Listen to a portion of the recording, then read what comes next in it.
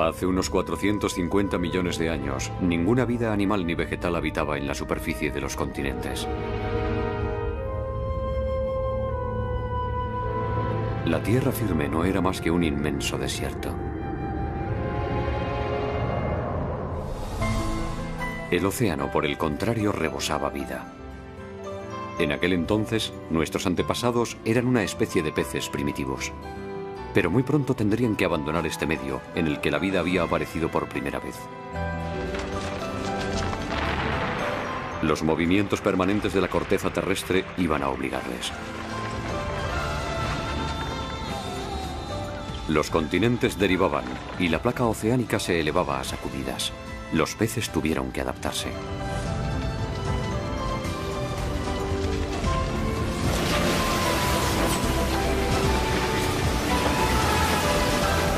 El movimiento de las masas continentales les impulsó a abandonar su hábitat ancestral.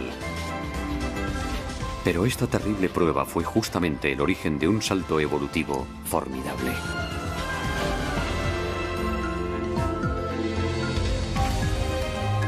Las plantas habían invadido la Tierra mucho antes que los animales. Ahora les tocaba a ellos descubrir nuevos horizontes. Nuestros ancestros desarrollaron entonces pulmones, luego pies y manos. La conquista de la Tierra podía comenzar.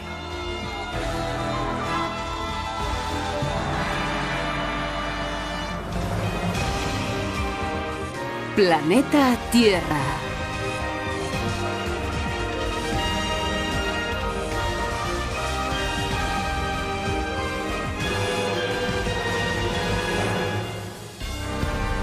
Al asalto de la Tierra.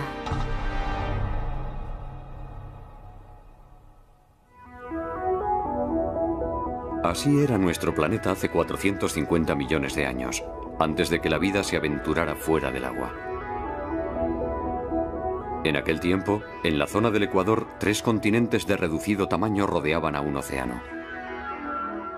Y fue precisamente aquí donde se preparó el gran desembarco de la vida hacia tierra firme. Este océano recibe el nombre de Iapetus. Sus aguas luminosas y poco profundas eran un auténtico paraíso para la vida.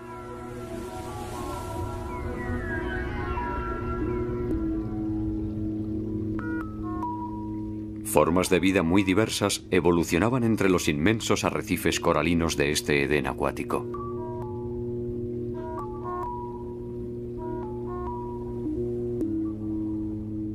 En ese momento de nuestra historia, nuestros ancestros pertenecían a una especie llamada Arandaspis. Son los peces más antiguos conocidos dotados de vértebras. Vivían hace 450 millones de años. Estos torpes nadadores de unos 20 centímetros de largo no poseían aletas.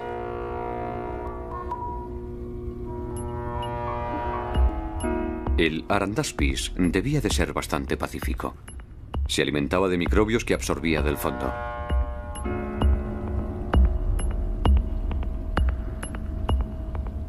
Pero esta vida paradisíaca no iba a durar mucho tiempo para los peces.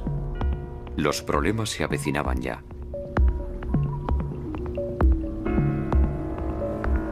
¿Qué tipo de problemas? Los trilobites, una de las especies más extendidas de este periodo, nos permiten adivinar de qué naturaleza eran.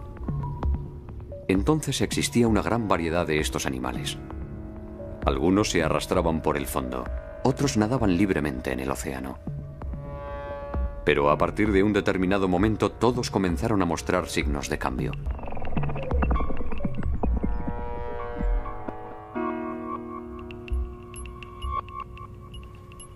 El profesor Richard Fortey del Museo de Historia Natural de Londres habla de una auténtica convulsión en la morfología de los trilobites.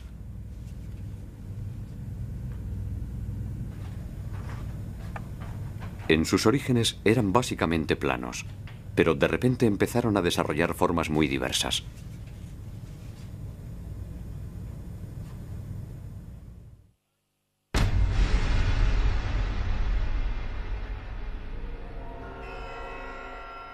El Dicranurus, por ejemplo, apareció hace 400 millones de años. Las espinas que cubren su cuerpo le dan un aspecto extraño. ¿Qué pudo originar un cambio tan profundo en los trilobites? Podemos asegurar casi con certeza que se trata de una reacción defensiva ante una mayor presión ejercida por los distintos predadores. En otras palabras, la vida se había puesto un poco más difícil para los trilobites y una de sus respuestas fue mejorar su caparazón protector. ¿Por qué la vida se había vuelto más difícil en el océano primordial? Según el profesor Fortey, se debió principalmente a la disminución de las aguas poco profundas que habían proporcionado un hábitat ideal a numerosas especies. Estamos en Stropshire, al oeste de Inglaterra. Hace 440 millones de años, estas tierras se encontraban exactamente en el Ecuador. Una parte del océano Iapetus las cubría. En esta cantera caliza existen numerosas pruebas de la antigua presencia de un rico ecosistema oceánico. Fíjese en esto, es extraordinario. Es una cadena de corales tabulados. La presencia de estos corales fosilizados sugiere una gran abundancia de vida. Su tamaño indica que se estuvieron desarrollando aquí durante varios siglos. Sin embargo, a partir de un momento concreto, este testigo de la riqueza del medio marino desapareció bruscamente. No quedó ni rastro de este mar idílico. Pero esta vez ni el impacto de un asteroide ni los avatares de la vida fueron la causa de tal conmoción. El cambio vino del interior del planeta.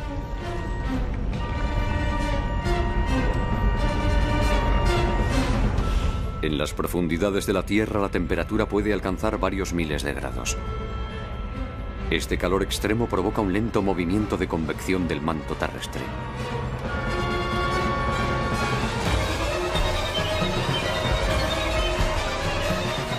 Dicho movimiento empuja a las masas continentales a una deriva sin fin sobre la superficie del planeta.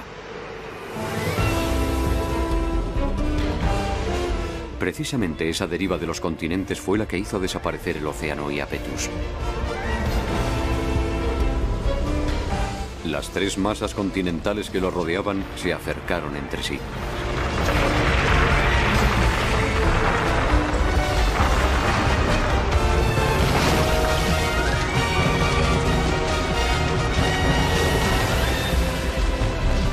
Entonces, tras una serie de cataclismos, la superficie del mar se vio reducida por el avance de los continentes. Como no podían desplazarse, la mayoría de los corales fueron destruidos. Algunos peces lograron escapar, pero ya solo disponían de zonas muy reducidas de macizos coralinos.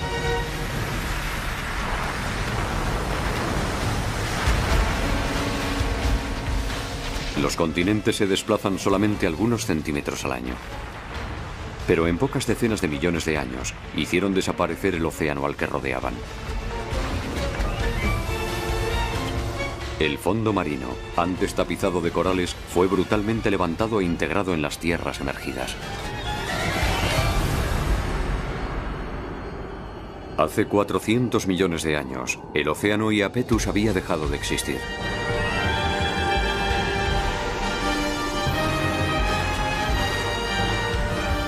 Las tres masas continentales se juntaron en un solo continente. Solo su contorno albergaba todavía los mares coralinos que constituían el hábitat privilegiado de trilobites y de peces.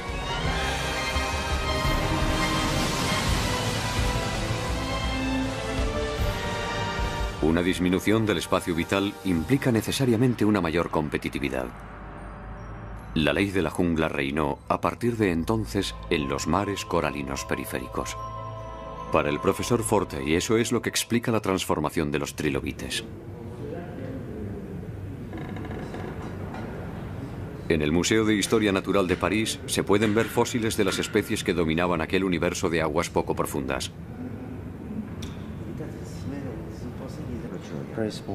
El profesor Daniel Gouget es un experto conocedor de los dueños y señores incontestables de aquel medio.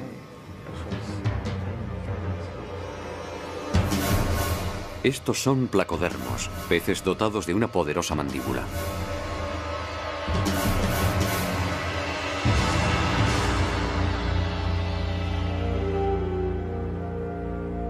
El particular esqueleto del placodermo no se encuentra en ningún otro pez. La parte anterior de su cuerpo estaba protegida por verdaderas placas de armadura ósea. Y en la boca, en lugar de dientes, dos huesos planos funcionaban como una cizalla. Provistos de estas armas, los placodermos se adaptaron a todos los ecosistemas de aguas poco profundas hasta convertirse en los amos de los mares.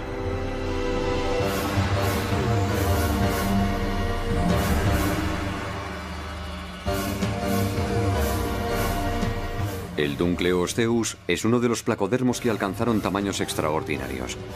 Algunos especímenes llegaban a medir hasta 6 metros de largo. Frente a tales monstruos, nuestros antepasados estaban totalmente desarmados.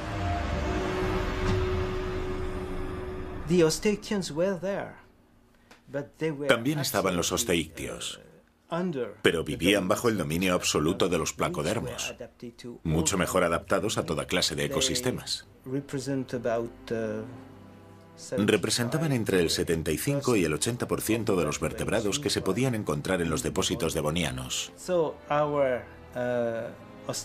Nuestros antepasados osteictios se veían ensombrecidos por estos placodermos que les impedían desarrollarse. No tenían más remedio que evolucionar para sobrevivir. 60 millones de años más tarde, el Pacífico Arandaspis se había convertido en un pez llamado Eustenopteron. Dotado de aletas, era un eficaz nadador. Pero no era una baza suficiente para dominar la competencia que reinaba entonces. En estas aguas, donde los peces gigantes eran los reyes, el Eustenopterón debía superar otra etapa.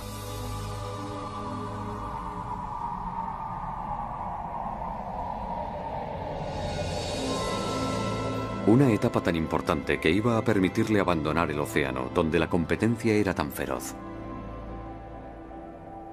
Pero ¿hacia qué horizonte se encaminó el Eustenopterón?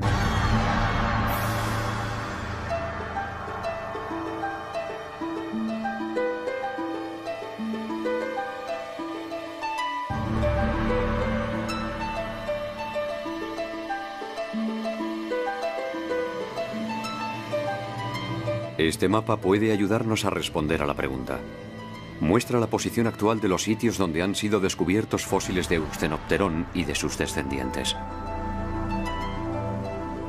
Si retrocedemos en el tiempo para ver dónde se encontraban estos lugares hace 400 millones de años, se puede constatar que formaban parte de una misma masa continental. Todos proceden de una zona situada en el corazón de este vasto continente, nacido de la colisión de tres placas terrestres más pequeñas. Sin embargo, justo después de esta gigantesca colisión, el continente resultante solo era un inmenso desierto. Es difícil imaginar dónde pudieron instalarse los peces.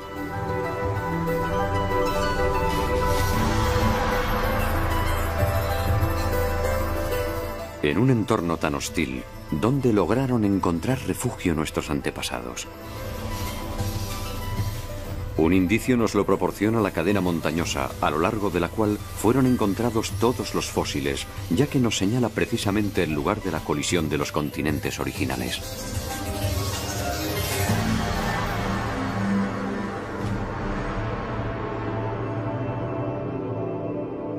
Estamos en Soñefjord, Noruega, es el más septentrional de todos los lugares que atestiguan la colisión de los dos macizos continentales llamados Báltica y Laurentia.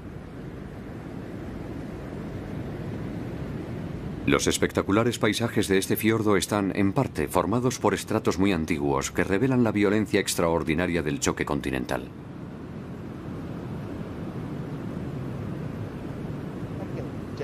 Esta curvatura visible en los estratos es un pliegue nos muestra cómo se comporta la superficie de la Tierra cuando chocan dos continentes. Las rocas más sólidas se doblan como un malvavisco bajo la enorme presión ejercida durante largos periodos de tiempo.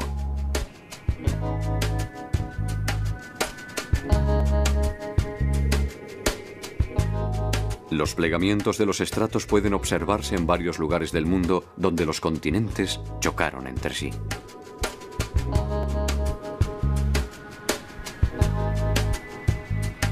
Es el caso de Monreith Bay, en Escocia. Hace 430 millones de años, este lugar formaba parte del océano Iapetus.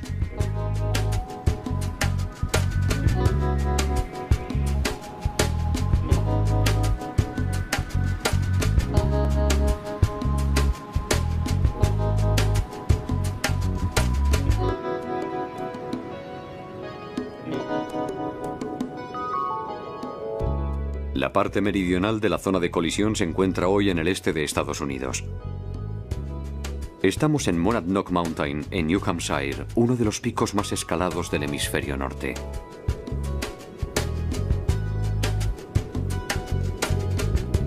Cerca de la cima a la que están a punto de llegar excursionistas se ven claramente las huellas de los pliegues en la roca. El estrato plegado se extiende a lo largo de varios miles de kilómetros, desde Noruega hasta Estados Unidos.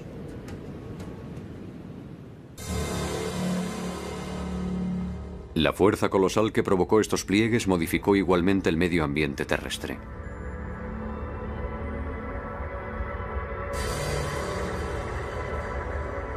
Hace 400 millones de años, después de la desaparición del océano Iapetus, la deriva de los continentes continuó.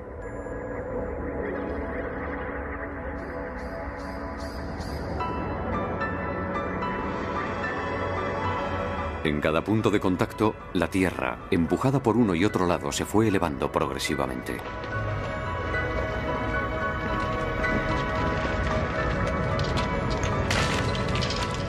Durante 40 millones de años, la presión continuó, dando lugar a una inmensa cadena montañosa llamada cadena caledoniana.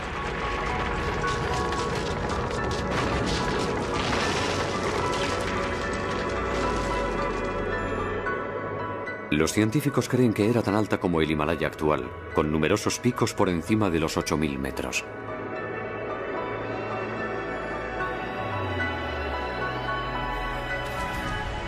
Fósiles de Eustenopterón y de otras especies animales fueron hallados amontonados a los pies de la cadena caledoniana.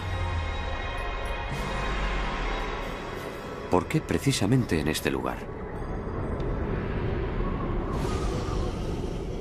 Cuando apareció esta inmensa cadena, se convirtió en un nuevo obstáculo que impidió el paso de las nubes, y torrentes de agua se precipitaron por sus laderas.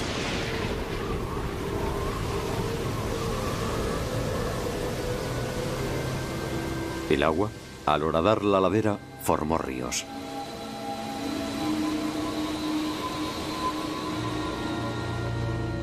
Un nuevo mundo de agua dulce hacía su aparición por primera vez en el interior de la Tierra.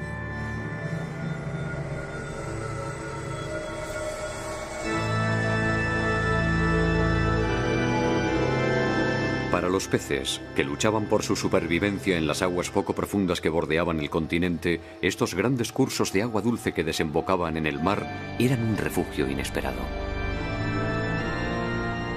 Pero estos ríos no constituían un hábitat totalmente protegido.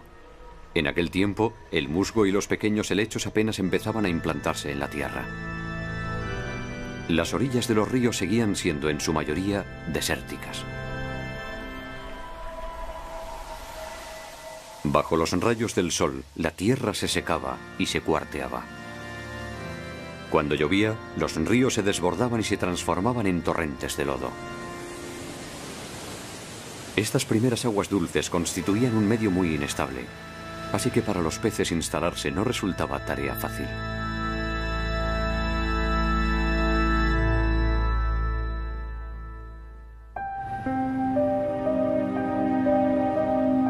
Lo que convirtió este entorno hostil en un medio más acogedor fue la vida misma.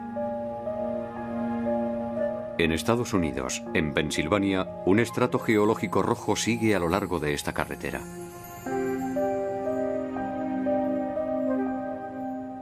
Hace 370 millones de años, esta colina se encontraba al pie de las montañas caledonianas y por ella discurrían grandes ríos.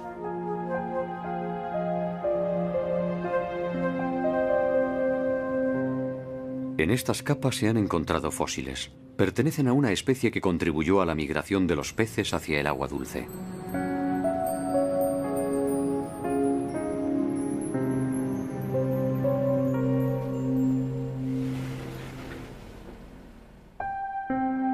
Estos fósiles son de una planta llamada Archaeopteris.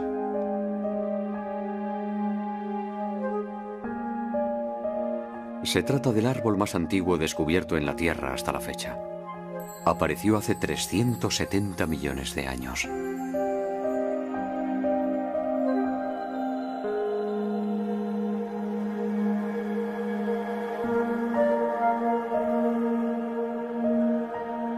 El Archaeopteris se parecía a una conífera.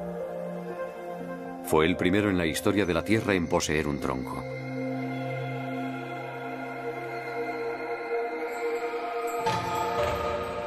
Sus raíces se desarrollaban en profundidad sobre un largo perímetro y lo anclaban sólidamente a la tierra. Su tronco se ensanchaba cada año y se cree que podía alcanzar hasta 20 metros de altura.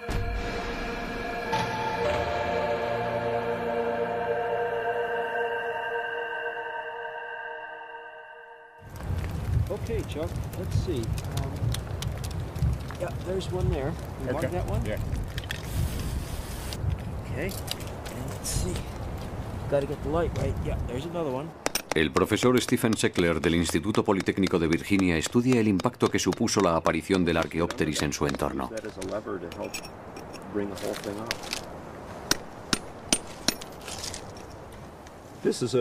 Es una hermosa cepa de Archaeopteris, It's, uh, muy representativa de los árboles de aquella época. Debe de tener unos 25 centímetros de diámetro.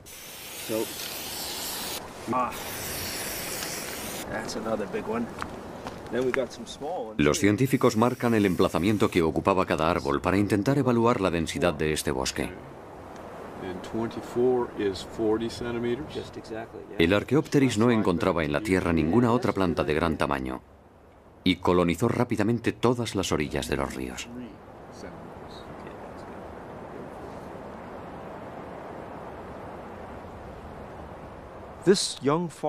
El bosque joven que tenemos aquí detrás presenta grandes similitudes con los primeros bosques de Archaeopteris Estos árboles de tronco blanco, actualmente pelados, tienen poco más o menos el mismo tamaño que los primeros Archaeopteris. Su aparición supuso un cambio del ecosistema en su globalidad. Lo que antes era un entorno al descubierto, muy poco productivo, se transformó en un medio cubierto de una densa capa arbórea con una tasa de productividad mucho más elevada. Antes de la aparición del Archaeopteris, el interior de los continentes era un entorno hostil para los animales. Pero a partir de entonces las tierras áridas se cubrieron con los primeros bosques de la Tierra.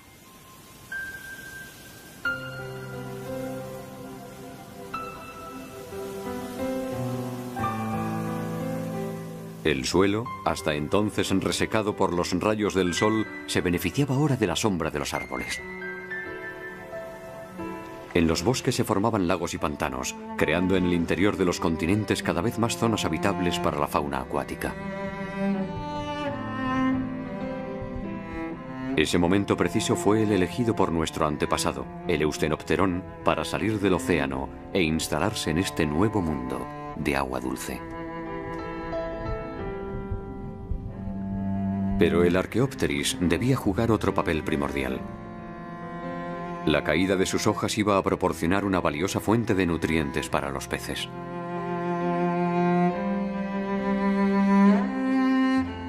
Las hojas del Archaeopteris, descompuestas por las bacterias, pasaron así a alimentar a la fauna acuática.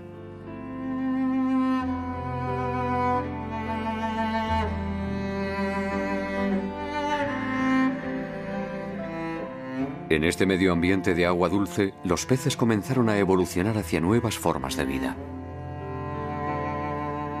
La aparición de los bosques había creado un mundo totalmente virgen que acogía a los animales más débiles, expulsados de los océanos. Para nuestros antepasados que se refugiaron aquí, el bosque de Archaeopteris fue realmente una dulce protección.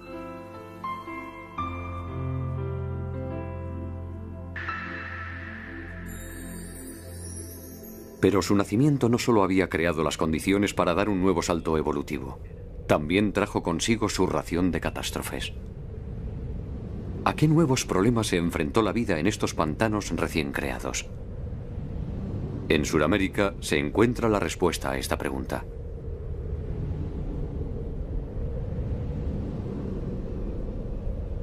Estamos en la cordillera de los Andes. Esta cadena montañosa es también el resultado de un choque continental ocurrido hace 400 millones de años.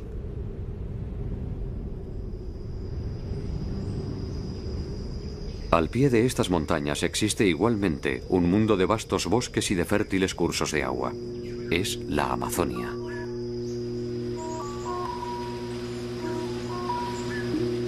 La Amazonia está cubierta de bosques primarios muy densos.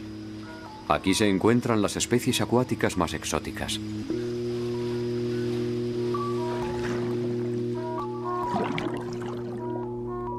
La armadura de este pleco recuerda sin duda a la de algunos peces prehistóricos. Y el majestuoso arowana presenta unas características únicas. La Amazonia es un verdadero santuario para las especies de agua dulce.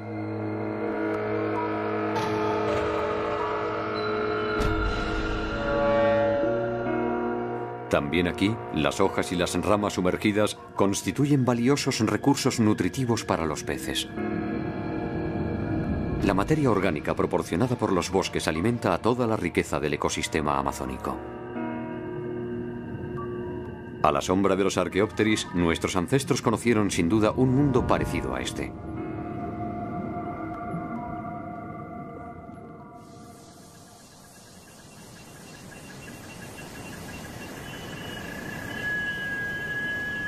Pero en la Amazonia, el mes de junio señala el principio de la estación más difícil para los peces. La estación seca se acerca y las lluvias son muy escasas. A lo largo de esta estación, el nivel del Amazonas desciende 18 metros. Cuando las aguas se retiran, solo dejan tras de sí algunos charcos dispersos y la estación seca dura cuatro meses.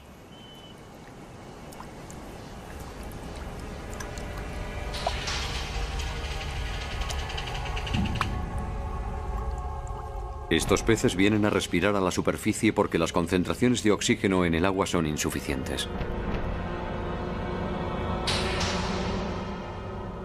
Cuando hay menos agua y las temperaturas son más elevadas, la cantidad de oxígeno disuelta en el agua disminuye.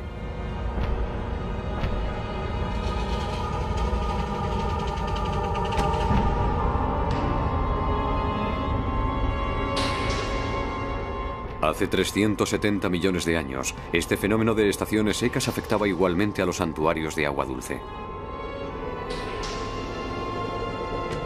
Al contrario que en los vastos océanos, el medio ambiente de los ríos y los lagos era bastante precario y regularmente el agua escaseaba de forma dramática.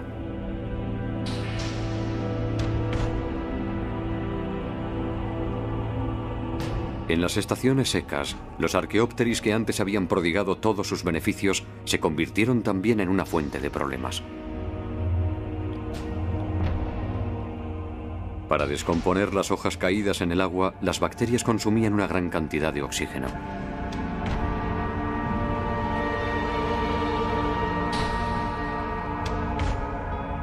El gran desafío al que se enfrentaba la vida en este entorno de agua dulce era, pues, la rarefacción del oxígeno.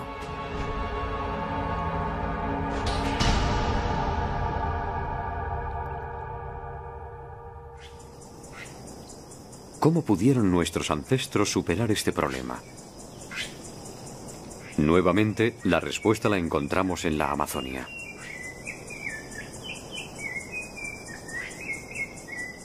Aquí vive una especie capaz de acostumbrarse a las estaciones secas más terribles.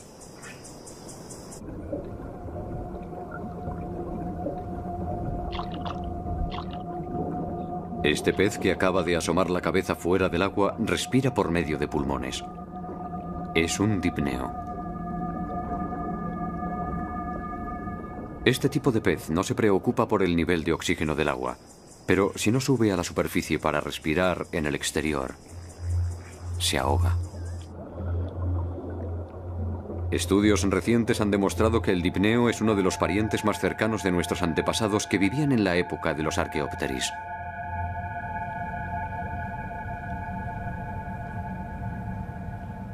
El profesor Per Alberg es un especialista del Eustenopterón. Cree que también él debía estar provisto de pulmones.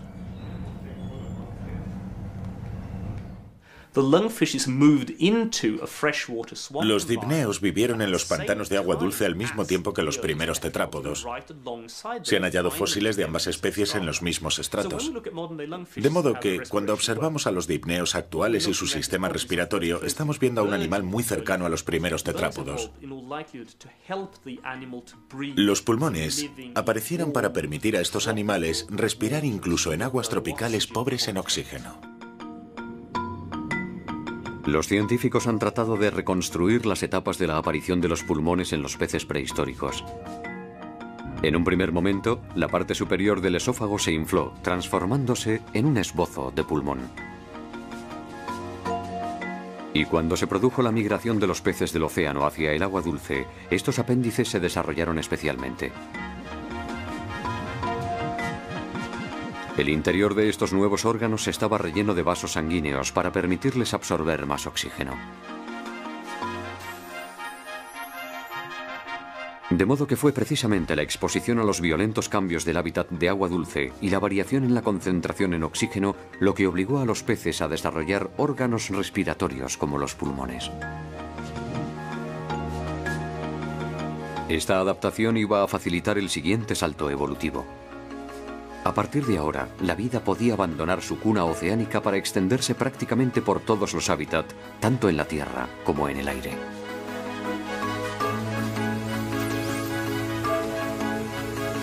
Pero las consecuencias de este acontecimiento se observan todavía en los animales que siguieron siendo acuáticos.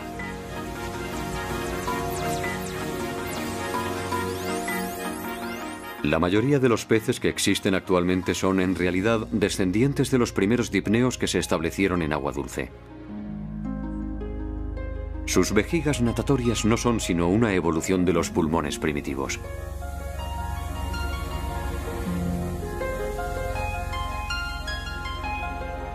Casi todos los peces que permanecieron en el océano estaban destinados a desaparecer. El vacío dejado por esta desaparición fue enseguida ocupado por aquellos que habían escapado hacia el agua dulce y habían adquirido pulmones. Regresaron al océano, donde los problemas de rarefacción de oxígeno no existían. Sus pulmones cambiaron de función para convertirse en vejigas natatorias. Esta nueva ventaja les permitió un desplazamiento más rápido sin desgaste suplementario de energía.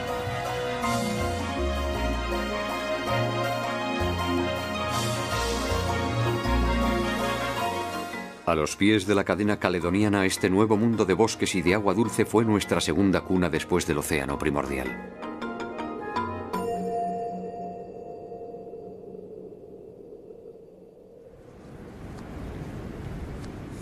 Nuestros ancestros estaban ahora equipados de pulmones y se habían adaptado a este nuevo medio.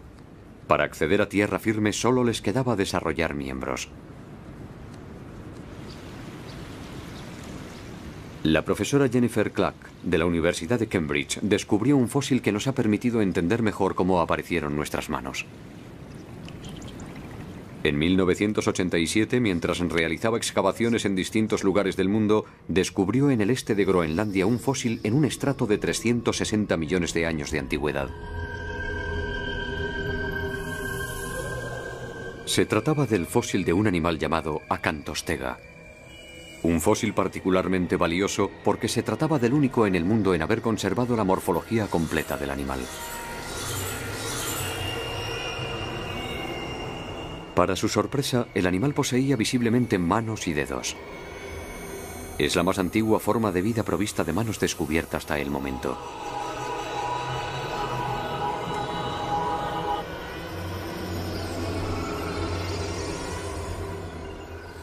La profesora Clark realizó dibujos detallados de la cantostega.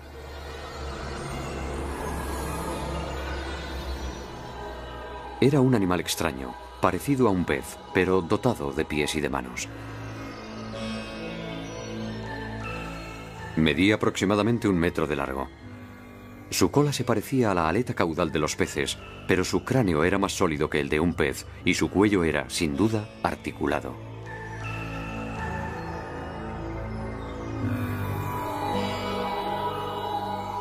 El acantostega era una evolución del Eustenopterón. Sus aletas pectorales se transformaron en patas anteriores y las aletas ventrales en patas posteriores.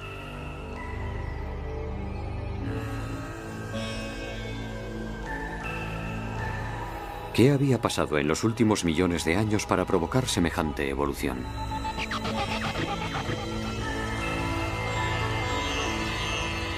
Los dedos de la cantostega planteaban, además, otro problema. Cada miembro anterior constaba de ocho dedos. Sin embargo, desde hacía mucho tiempo se pensaba que desde los primeros estadios de la evolución, las manos solo constaban de cinco dedos.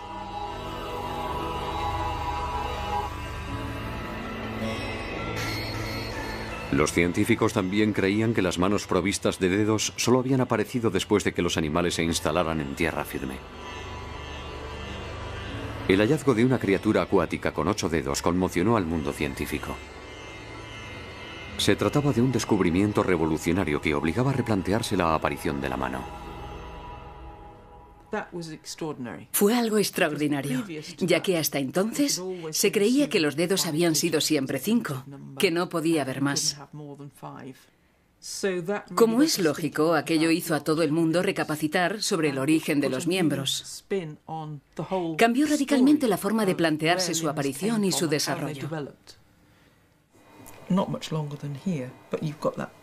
Al principio la doctora Clark pensó que las manos y los pies habían aparecido para facilitar el desplazamiento terrestre.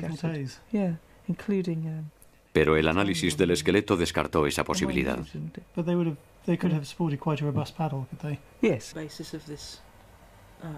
La forma en que los brazos estaban unidos al cuerpo contradecía flagrantemente esa hipótesis.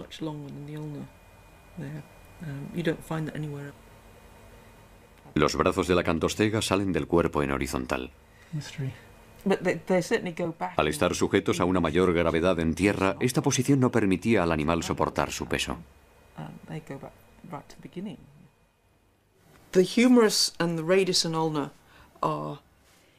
El húmero y el radio forman un ángulo que no permite al miembro doblarse así. Las articulaciones que tenía aquí y aquí sugieren que el brazo debía llevarse de lado y por tanto no podía soportar ningún peso. Si no le servían para desplazarse en tierra firme, ¿para qué le servían los brazos a la cantostega? Unos científicos hicieron análisis del esqueleto y realizaron una simulación del movimiento del animal. Pero el resultado, en lugar de aportar respuestas, planteaba aún más preguntas. He aquí una simulación del movimiento, tal como lo describen los estudios de la profesora Clack. El acantostega parece retorcerse para avanzar. Este movimiento sugiere que no debía ser un buen nadador. Para nadar eficazmente es preferible carecer de miembros para limitar la fricción del agua.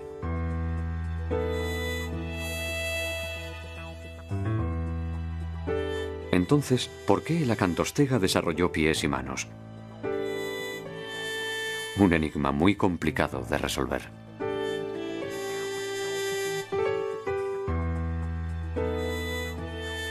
La solución iba a encontrarse en un lugar inesperado, Red Hill, donde se habían descubierto los fósiles del primer bosque de Archaeopteris.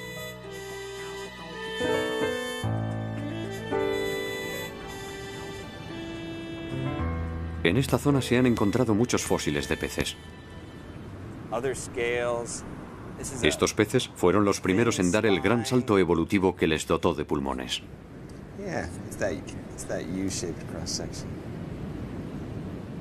En 1998, el profesor Ted Dessler de la Academia de Ciencias Naturales de Filadelfia descubrió unos dientes de pez muy grandes. Miden más de 8 centímetros de largo.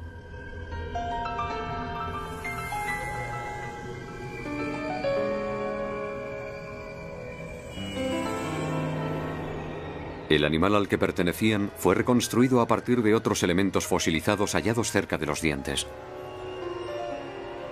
Se trataba de un enorme pez de 5 metros de largo, totalmente cubierto de escamas rígidas.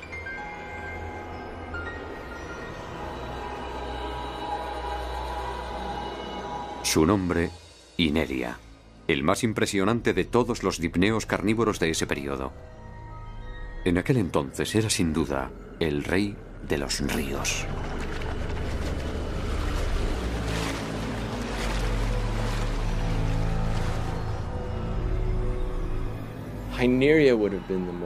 El Ineria era indudablemente el más feroz de los peces que vivían en el ecosistema de Red Hill. La forma del cuerpo demuestra claramente que era un animal capaz de nadar velozmente, de lanzarse muy rápido, perseguir a su presa y de sujetarla entre sus enormes dientes.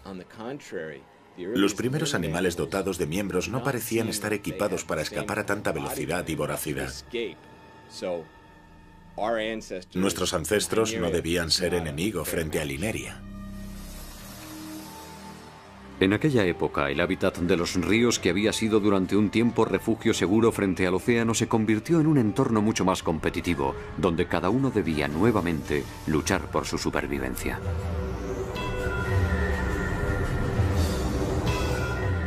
Lejos de los 5 metros de Lineria, el acantostega parecía muy vulnerable.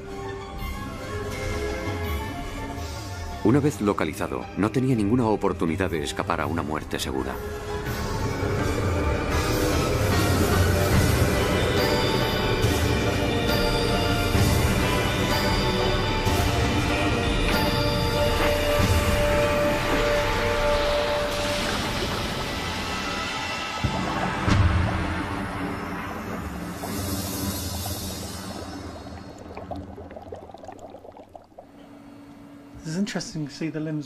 ¿Cómo pudo entonces sobrevivir un ancestro tan débil? De nuevo se planteaba la cuestión de las manos. ¿No serían acaso la clave de una nueva estrategia? La profesora Clack formuló entonces una hipótesis revolucionaria sobre el uso de estos nuevos miembros.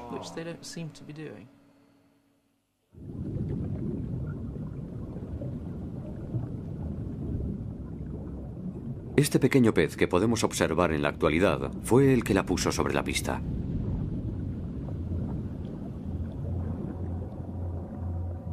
Es un Brachionictis, un teleósteo. Vive en los fondos marinos, mide unos 10 centímetros y domina el movimiento de sus aletas tan bien como si se tratase de pies o de manos. Las utiliza para desplazarse lentamente por el fondo o para agarrarse a las rocas y acechar a sus presas.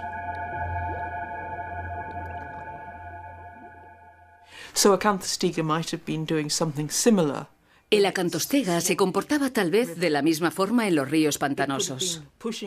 Podía apartar la vegetación del fondo, cosa que no puede hacerse con aletas. Hay que suponer que era un medio ambiente tropical, parecido al de la selva amazónica. Por lo tanto, era un entorno pantanoso, lleno de vegetación submarina y de hojas caídas de los árboles que bordeaban las orillas. Casualmente, los primeros árboles aparecidos en la Tierra, los Archaeopteris, tenían otra característica que iba a resultar muy útil a los seres vivos. Cuando sus hojas caían, lo hacían con su rama. En aquel tiempo, grandes cantidades de ramas se apilaban probablemente en el fondo del agua.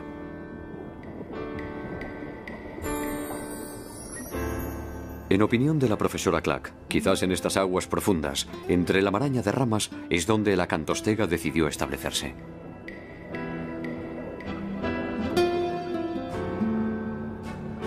Disponía de pocos medios de defensa, así que había abandonado las zonas de nado libres en medio de las lagunas o de los grandes ríos para llevar una vida más discreta cerca de las orillas.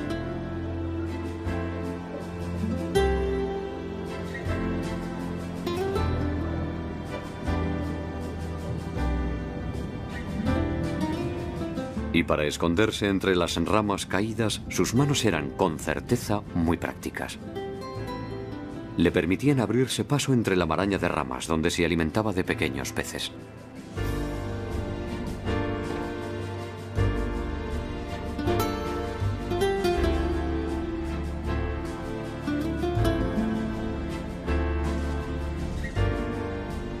De este modo, cuando nuestros ancestros se enfrentaron a la amenaza de los predadores gigantes como el Ineria, no intentaron competir equipándose de dientes aún más temibles, sino que optaron por una vía más pacífica, evitando la confrontación.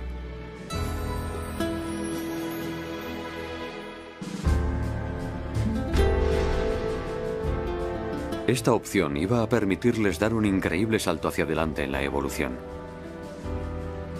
Gracias a las manos que le permitían abrirse paso entre los ramajes, el acantostega pudo vivir en las aguas poco profundas de los ríos al abrigo de los peces más grandes.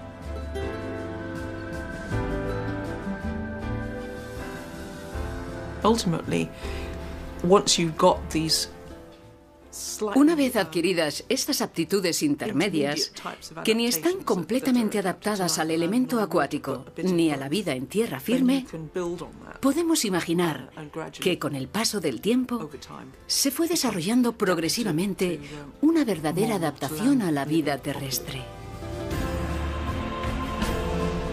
El acantostega era en realidad una especie débil que se encontró en un medio muy hostil. Permaneciendo en el agua, ciertamente no hubiese tenido descendencia.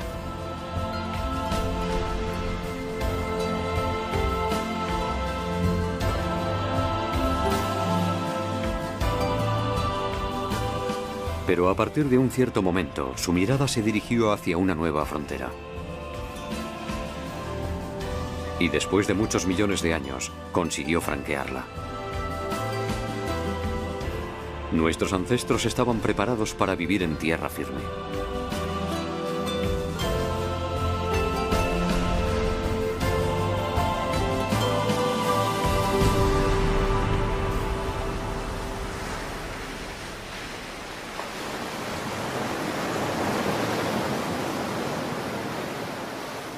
La isla de Valencia está situada en la costa oeste de Irlanda, pero antaño era uno de los pantanos que se extendían al pie de las montañas caledonianas.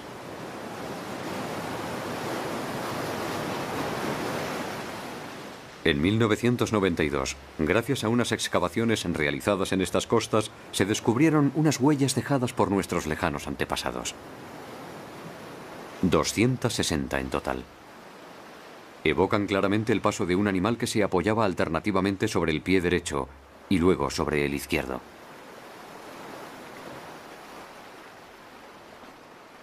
Constituyen las huellas de pasos más antiguas encontradas en la Tierra.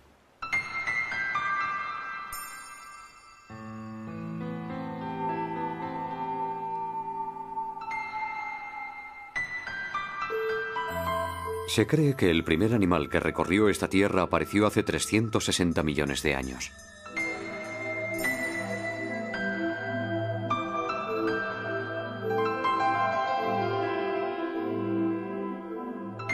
Medía aproximadamente un metro de largo y recibió el nombre de Pederpes. Era uno de los descendientes de la cantostega. Un animal frágil que había logrado la hazaña.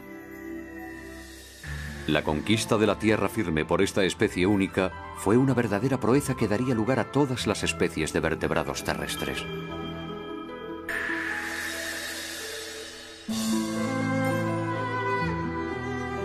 Gracias a la deriva de la tierra firme, la vida se vio impulsada a explorar su superficie. Y sobre esa tierra en movimiento fue donde se desarrolló el proceso evolutivo que condujo hasta nosotros. En tierra firme, la evolución conoció una aceleración espectacular. La superficie de los continentes contenía entornos mucho más variados que el fondo de los océanos. El horizonte evolutivo se amplió y apareció una gran abundancia de especies.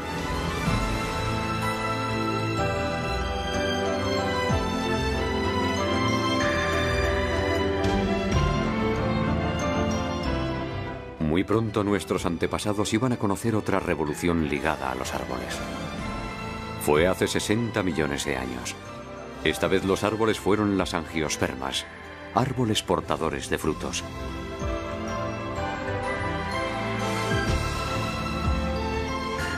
Hasta entonces, los mamíferos solo podían subir a los árboles sirviéndose de sus garras. Pero para llegar hasta los frutos de las angiospermas tuvieron que adquirir una nueva habilidad de la mano, la facultad de asir.